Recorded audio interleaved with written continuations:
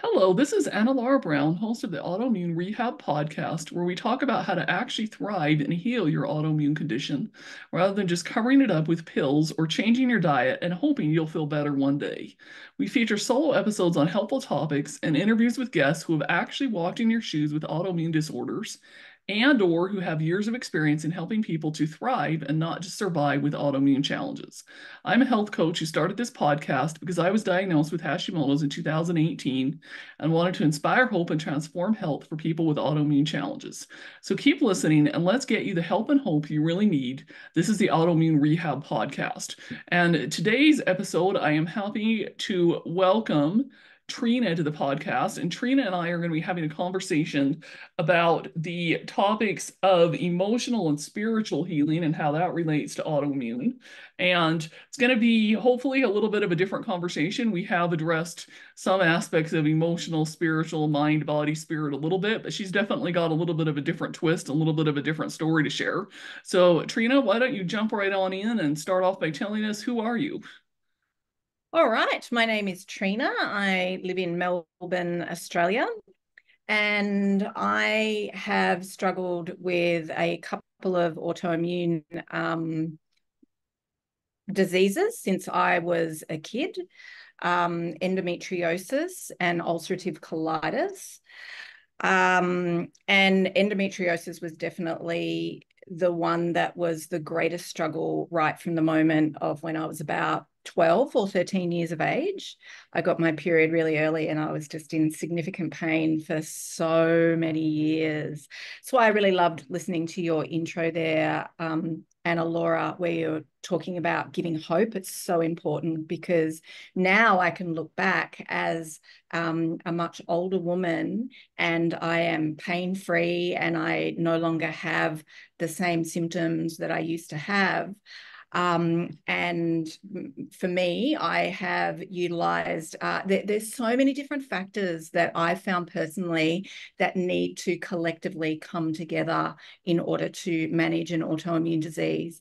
And I definitely use diet, I definitely use supplements. But one of the things that I've found helped me the most has been uh, spiritual healing. And I also have a background in traditional Chinese medicine. So I have a Bachelor of Health Science in traditional Chinese medicine. That's so that's just a little bit about me. that's awesome. That's cool. So let's flash back here a little bit to, you know, you're 12, you're 13, you're having all this endometriosis pain and everything. What did you do first to try to fix it? So, um, right before I got my first period, I would uh, be in enormous abdominal pain and I would start vomiting and I would get put in hospital. And mm-hmm. then the doctors couldn't understand what was going on at all. I was just this big mystery. And then I finally got my first period and it was agonizing. And I just got told that periods were painful. And then I started to internalize that as believing that there was something fun fundamental fundamentally wrong with me because everybody gets period pain, but I had the kind of period pain that would um, result in me turning up in the emergency room. And so uh, at first, I took pain medication uh, because I would get period pain about a week leading up to my period and then for the first few days of my period. But then the pain started to present further and further. It would start earlier and end later until before I knew it, I had pain through my whole entire cycle. And so at the beginning, all I was doing was taking pain medication from the doctor. When the pain got excruciating, turning up at emergency, and then emergency would give me, um, put me on a drip until the pain resided. And that that cycle, AnnaLaura, that went on for years. And then finally, um, I was living uh, in Queensland, which is a very beautiful place in Australia. And my partner at, the time was working, he was a jewelry maker and he was working in a jewelry store. And there was a psychic that worked there. And I wasn't interested in that stuff at all. I was, uh, and he, the psychic kept saying to him, I'd really love to do a reading for your girlfriend. And he would relay that information to me. And I'd be like, no, I'm not interested in that stuff at all. And then one day, um, I was like, Okay. And she did this reading for me and she drew a picture of my reproductive system, just an outline. And she drew um, some places where she was telling me that um, where I had some illness. And then it, it coincided around the time that I'd actually been um, sent to a specialist and I had been given a diagnosis of endometriosis. They did a laparoscopy where they had a look inside and they could see that I had endometriosis. Endometriosis being when the endometrium that lines the inside of your uterus is found in other places in your body and it grows in response to hormonal stimulation. But of course, it has nowhere to go because when you have your period, you shed it outside of your uterus. But when it's growing in other places, it just keeps growing. And so I was amazed with what she'd said. And she said to me one day, um, I'll never forget it. One day, uh, you, you will heal this in yourself, and one day you'll be able to heal uh, other people as well. And I thought she was a bit crazy, to be honest. Um, yeah, and... sure. well, you know, but it sounds to me like she was more than just because you know, there's let's let's put this out here. There's a lot of people when they just hear psychic, they think crazy, and there mm-hmm. isn't. You know, there's a lot of different things out there, and there are psychics that are a little bit nuts. You know, but it sounds to me like she was more of like an energy healer than just a you know random run of the mill psychic so to speak you know? She actually did have some training and knew what she was talking about yeah, well, she had a gift of reading energy. And the reason that I was adverse to seeing her was that I thought that a psychic was somebody who was going to predict my future and tell me all these things that were going to happen. And I was, I didn't want that. Um, mm. I'm like, I, I want to be able to live my life without thinking that it's going to unfold in a particular way because somebody's told me it is. But that wasn't what she was about. She just simply read my energy and then she reflected back to me something that was happening inside of me. And she gave me a different perspective perspective on it. And it was empowering, you know, um, because it was hard for me to deny because she knew nothing about me. There's no way that mm-hmm. she could have known. And she drew this very accurate picture. And then she told me that I had some kind of power in me. And I'd been told in, you know, power is an odd word, but but there was let me put it this way uh, the whole my whole life so far had told me that i was weak and that I um, couldn't put up with the kind of pain that every single other person, you know, most other women were putting up with, and that there was something funda- fundamentally wrong with me. And my self esteem was shot to pieces. All bit. Right? Yeah. Uh, and she gave me this bit of information that kind of gave a whisper of hope and a whisper of, or maybe, you know, there might be something, you know, I don't know, positive about you in some way. And and it was uplifting. And around that time, that that same that same little jewelry store, um, a woman that was working there said, "Oh, I see a Chinese medicine practitioner, um, and I find them really helpful." And so I started going and getting uh, acupuncture, mm-hmm. and it was like it was like a miracle. It took a while, but it just helped to reduce some of the intensity of the pain, mm-hmm. and it offered me an alternative because when I was seeing the specialist and I had the laparoscopy and I was diagnosed as endometriosis, he put me on this medication that made me put on weight and that made me in, induced a menopause uh, situation in me, a woman who was in my early 20s. I went to full menopause where they stopped my periods and I felt like I was psychologically losing my mind. It was horrible. And so with the I started doing more and more Chinese medicine and then I eventually went off that medication because I was getting enough support to help manage my pain.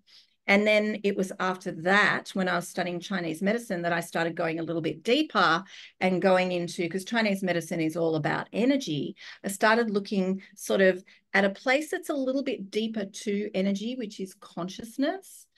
And, and, and consciousness is more like the data that sits inside of your body from which your biochemistry is being related from uh, is being created sorry from which your thoughts and your emotions and your behaviors are being created one way that i like to sort of say that to people is it's a little bit like think of consciousness as like sheet music. You know, when you've got sheet music and it's got all these funny little symbols. Mm-hmm. And the sheet music is nothing, it's just information until somebody takes that information and either with an instrument, like i am doing a little guitar thing here, um, an instrument or, or their voice takes that data and turns it into music. Well, consciousness is a little bit like that. So I started doing some work um, where I was going in and uh, through spiritual healing started to shift some of the underlying programming in my body. And that was when I started to get more traction in regards to reducing um, my symptoms in regards to endometriosis. It did not happen overnight. I had to stick with it. I had to try various, you know, diets and supplements to go along with it. But I eventually got to a place where um, I was symptom uh, free, other than a little bit of discomfort sometimes, and uh, where I wasn't taking any medication. Yeah, that's awesome. That's amazing. Yeah, I fortunately I have not had to experience into into uh, however you pronounce endometriosis or whatever, but I have yeah. had painful periods, and I have noticed that acupuncture has really helped me as well too a lot. You know, with reducing the pain that I have had, and yeah, I mean acupuncture, like you said, it's all about that chi and that energy flow, and it's I mean, it's acupuncture in and of itself is basically an energy healing modality one of many that are out Absolutely. there.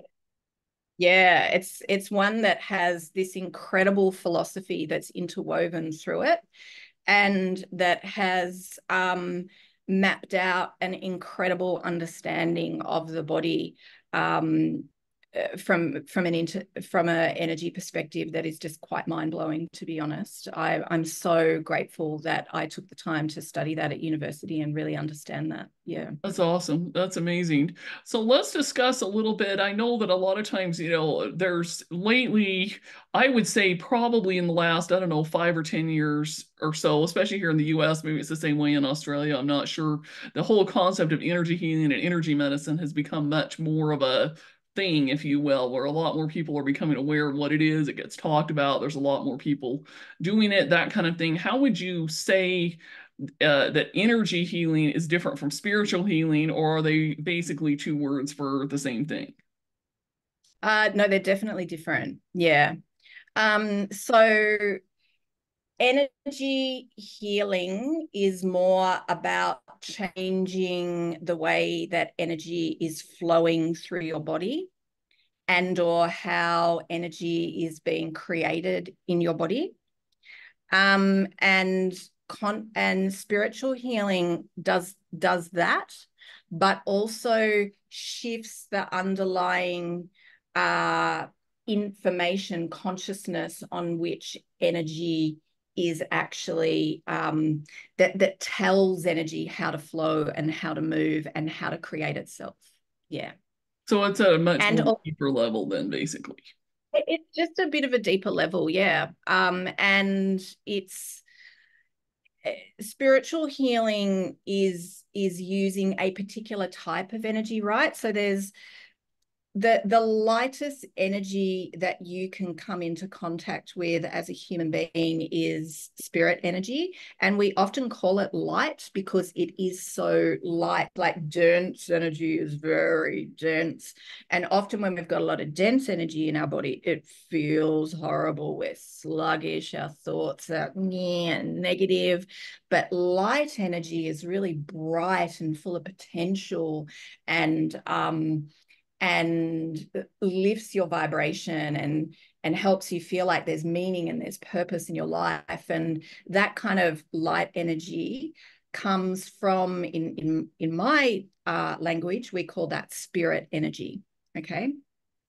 And i personally actually work with spirits who help diagnose a person. So, like when I saw that that particular psychic, she called herself, um, and she was, you know, diagnosed me without knowing what was going on. That's the kind of work that I actually find myself doing nowadays. And so that information that I'm getting, I'm getting that from spirit is what I say, which I know sounds strange to many, many people, and I totally and utterly get that. Um, but for me, it's just a everyday reality of, of the way that I work. So spiritual healing and energy healing are slightly different. They are both um, that that's not to say that spiritual healing is better than energy healing either. I, I don't believe that. There's just a slight difference. Mm. Yeah, that's interesting. Yeah, and I know that acupuncture, especially if you you know have that training and you know really good acupuncturists, sometimes are able to even diagnose or figure things out before Western medicine doctors can. I tell people that my acupuncturist caught on to my thyroid issues probably three or four years before I knew I had Hashimoto's and was actually instrumental in my trying to go get a diagnosis. But initially, I got laughed at by the first doctor because oh well mm-hmm. i didn't really won't tell her that i had an acupuncturist that was telling me i had it but maybe yes. i should have but you know i was a little bit shy about it but she laughed at me because she didn't think that i had enough symptoms and then you know i ended up going through a couple other doctors but ultimately yeah it was acupuncturist that caught it first so yeah that's the Catch thing that when you, stuff yeah when you're working on an energy level you can often catch things that are subclinical Okay. So that means that just before they've actually moved into that place where they've really manifested physically. Okay. So um I so people that do energy work such as myself, we are often picking up autoimmune diseases um, and being able to feed that information back to people because we're able to pick up subclinic subclinically that there's energetically there is there's something that's not working quite right um, even though the person doesn't have a whole lot of symptoms yet and um, I've certainly I I remember um, where I was sending a client to a doctor and saying, tell them that you really need to have a colonoscopy because I could see stuff that was going on in their colon that really needed medical attention. Mm-hmm. And um, and so she was like, What am I going to say to the doctor though? And I said to her, Tell her that uh, a Chinese medicine doctor has sent you to get a, a colonoscopy. Now, I studied Chinese medicine what probably about I started studying about 25 years ago. In those days, if you went to your doctor and said it was a Chinese medicine um, person that had sent you, they would be, yeah. But nowadays, as you said, like there's been a lot of change and there's a lot more acceptance. And so, yeah, she told her doctor she had a colonoscopy where I had seen some growths. There was some growths. And um, yeah, Mm. Yeah, absolutely. Yeah. And I think there's this concept of integrative medicine that's becoming much more common where you even have acupuncturists working at hospitals and things. And so it's definitely becoming much more known. Thank goodness. you know, I think to the benefit of all of us. I'm really, really hopeful about that. I'm really hopeful that um, we can have this more of a meeting of um, complementary alternative medicine, whatever you want to call it, and Western medicine, because both of them are absolutely essential, I think, uh, when it comes to a more holistic um, approach to one's health. Yeah, absolutely. So you mentioned, of course, you know, you went and saw this lady. I mean, I guess she was calling herself a psychic, but she was really more of an energy type healer. And she helped obviously initially with like your physical conditions and your physical pain. How can spiritual healing or energy healing, that kind of thing, how can that help with like emotions and emotional issues as well? Uh, yeah, sure, absolutely. So, one of the things about autoimmune diseases is that for whatever reason, one's own immune system is attacking, if you like, your body, right? Mm-hmm. And so, and producing inflammation, and then that is resulting in um, tissue ill health, and which is resulting in your body tissues not being able to function as well as they could. That's just to really be very simplistic about it. But nonetheless, that that's really important because one of the things that immunity is immunity is the ability to be able to go okay what is me and what is not me? And if something is not you to then mount an immune response and eliminate that from the body And with autoimmunity, there's a lot of confusion in that area. You know, is that me? Is that not me? And then the immune response is a lot more kind of um, haphazard, a bit more like instead of being really clear about what I'm going to shoot and get rid of, I'm just going to and do, do a whole lot at once. Okay. And so, one of the things that spiritual healing is really, really good at is helping you to build a relationship with your authentic self. Okay, to start to become a lot more clearer about who and what you are, and to start building that relationship with a, a more truer essence of who you, and what you are, and then have that start to show up more in the way that you're thinking, the way that you're able to regulate your emotions, the behaviors that you're choosing into, and also your biochemistry. Because a lot of us are very conditioned.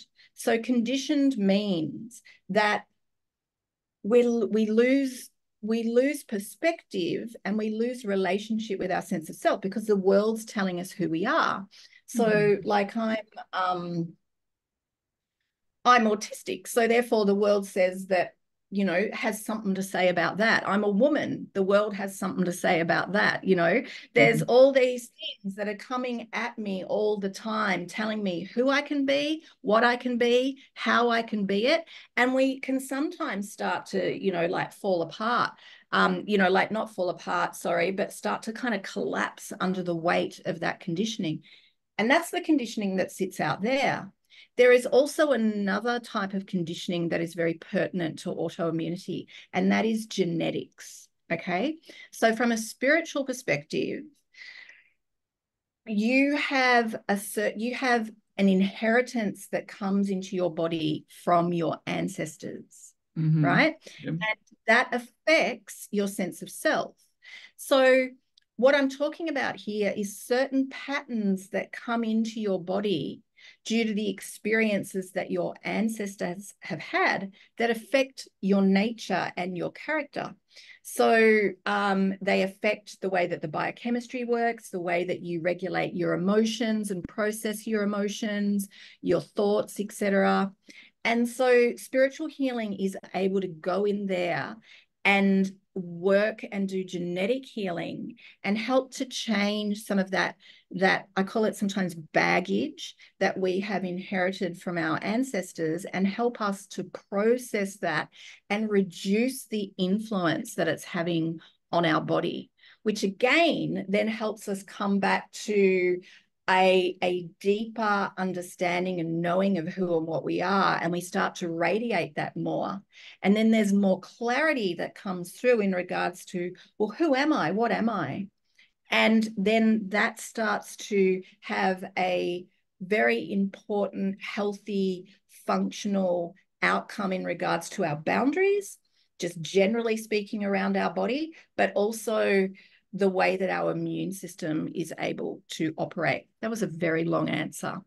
That's okay. I think that was helpful though. And I think honestly, a lot of the points that you brought out are part of the reason why they say 80% of autoimmune diseases are in women is because as women, we either get overworked, overstressed, we have this certain image of what we need to do as a woman, especially women that have children, even more so than women that don't have children, I think. But it's just there's all this these expectations and these things, and sometimes it just gets to be too much, whether it's the stress or it's the whatever it is, and that can cause autoimmune issues, you know.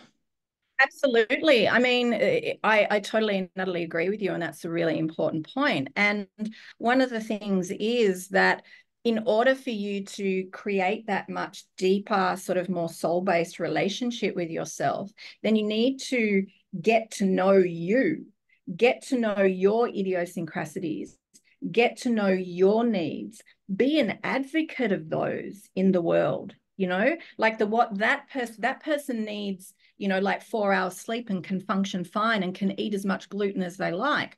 I can't. Um, I need to have a lot longer sleep. I need to meditate to ma manage my stress. There are all of these things that I need in order for me to be more optimally functioning within inside of myself to have a better quality of life and uh, to to feel better. And I've got to advocate for those needs. And And sometimes we get so lost in that because as women, we're very good at putting other people's needs before our own. Exactly. We don't prioritize self care. And then, of course, there's the whole issue, you know, with the media and everything else that sometimes tries to make women think that they need to be a certain size, they need to be a certain way, have a certain appearance, all that kind of stuff. And that's it's worse for women than it is for men. And so I think some women that can really get to them as well. Absolutely. And it sets up like this battle inside of us you know, like with the input that's coming in telling us, you know, who and what we should be, and then what we believe and know is is authentic and true and right for us, and then we can get caught in that battle land, and that is one of the the worst places to be in regards to being able to have that cleaner uh, cleaner isn't the right word that clearer more focused immune response happening inside of ourselves. And to anybody out there who's listening to this and saying, oh my gosh, I find myself in that space a lot. Oh no, now I'm really worried and I shouldn't be in that place. Then my message to you today is that everybody has a degree of that. So I don't want you to increase the battle by um, going into stress and worry and going, oh no, I'm not allowed to be like that.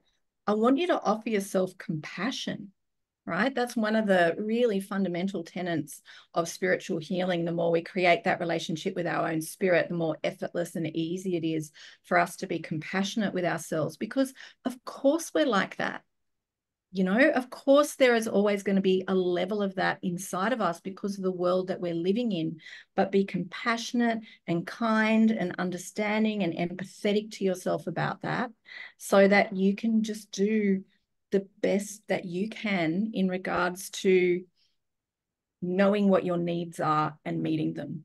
That's awesome. So if somebody's listening to this and they're thinking, you know, hey, I want to try to explore a little bit of this, you know, either this energy healing, this spiritual healing realm, what would be the very first thing that you would tell somebody that they should do? Hmm, let me think about that. Okay, I think that acu acupuncture is a very safe space to start uh, because you have somebody who has training um, and that training has a level of standardization in it.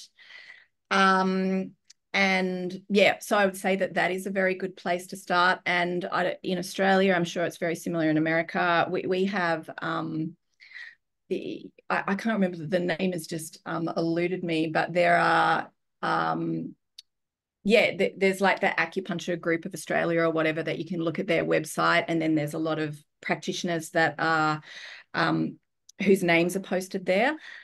If you want to tip your toe into spiritual healing, then it's really important that you just do a little bit of research on the the person and just make sure that they it feels like there's an alignment for you. Mm -hmm. Okay.